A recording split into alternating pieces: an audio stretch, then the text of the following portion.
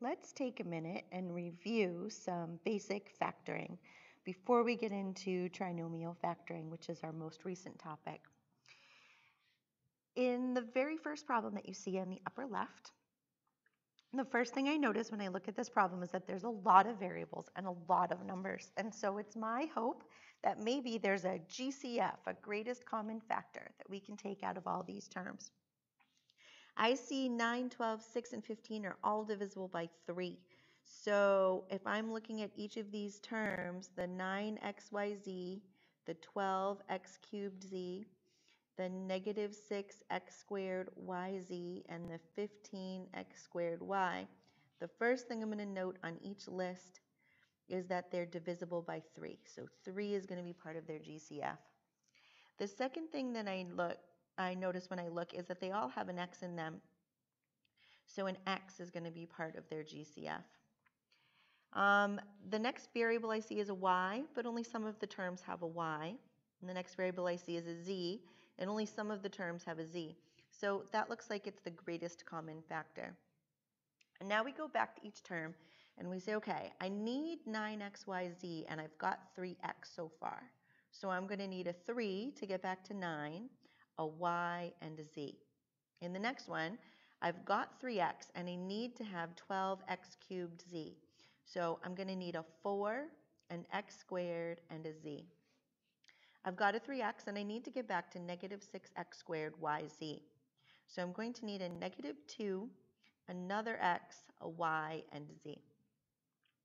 I've got 3x and I want to get back to 15x squared y.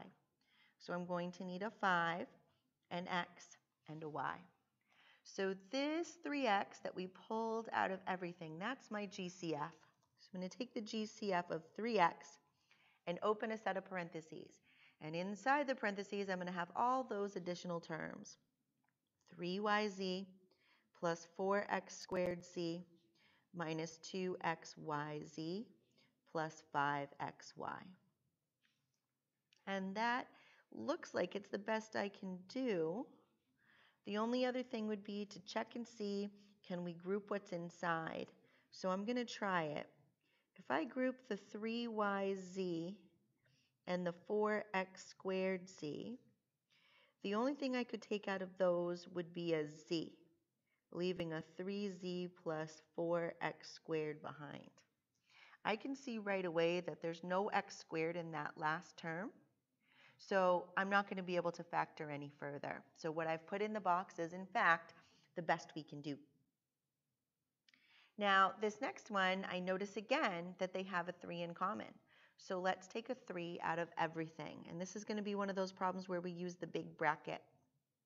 So we're going to have 3x cubed um, minus 2x minus 15 oh, I'm sorry, I shouldn't have changed that. x squared minus 15x plus 10.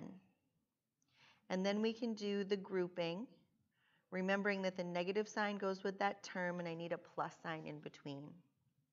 So I want you to push pause on this video and I want you to try to factor the rest of the way based on what you remember from class. Once you've done the problem to the best of your ability, push play and see how I did it.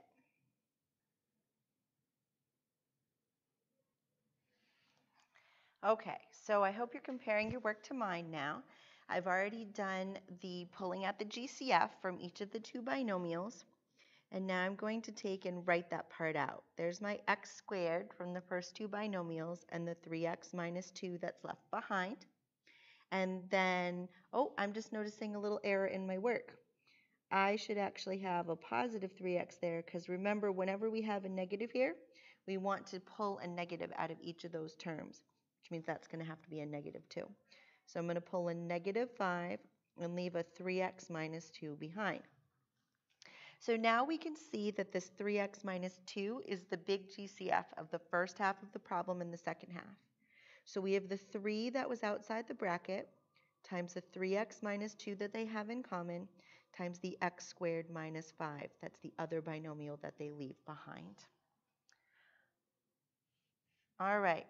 I want you to take a moment and do a little puzzle practice. Remember, we do the puzzle practice because this way of thinking is an important part of what we do when we factor. So push pause on the video, take a couple minutes, and try these puzzles. All right, my pairs of numbers are listed down the middle of the chart. Compare my work to yours, and hopefully you found all the pairs that I did. All right, our last thing for today is to practice factoring by splitting the middle term. I'm going to do one problem with you, and then you're going to try one problem on your own. So let's start with the very first problem. It says 2x squared plus 11x plus 12. All right, remember we have to create the puzzle to solve, right? That puzzle practice that we just did is the first thinking that we need to do in this problem.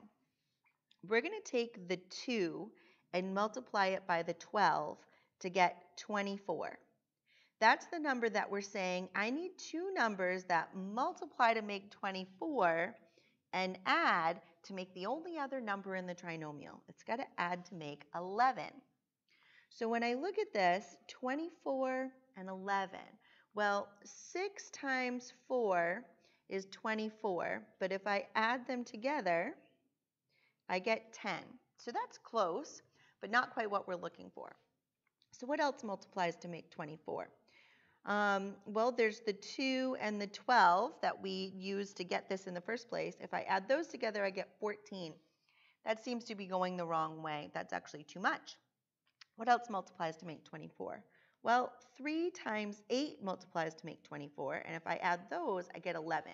So there's my pair of numbers, 3 and 8. So I'm going to use the 3 and the 8 to split the middle term.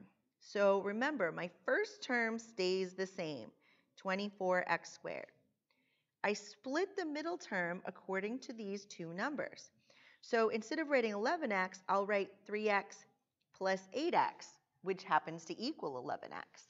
And then my last term comes down. So we've actually done the step that's called splitting the middle term.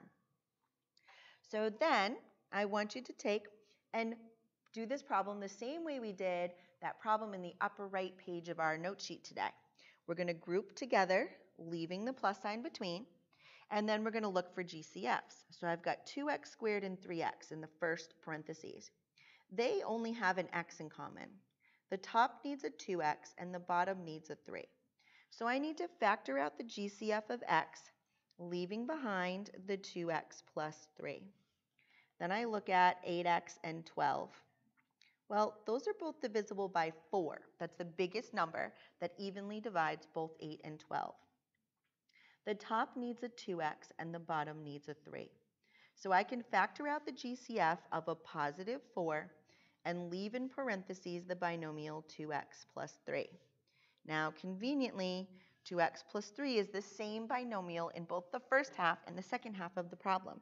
So I can factor out that binomial GCF and multiply it by the x plus 4 to get my final factorization. All right, let's look at the last problem. Take a peek. Remember, your puzzle is going to be that you want to multiply to make 3 times negative 2, which is negative 6.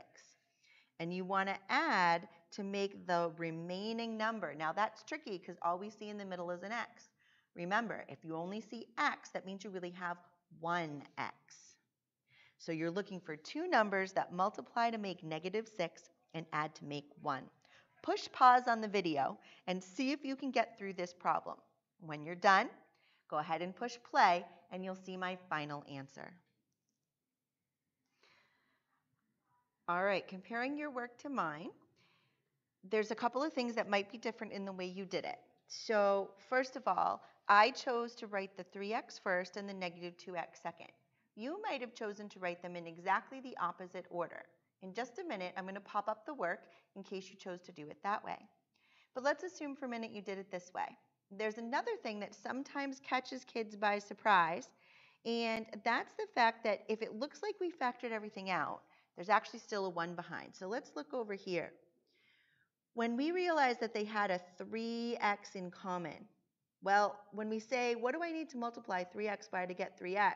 Your first instinct is to probably to say nothing, but really we say 1. So that term has something to sort of hold that place. We can't let that term disappear. And it's true that 3x times 1 is still 3x, so that is accurate math. That's usually the bit that sometimes students miss.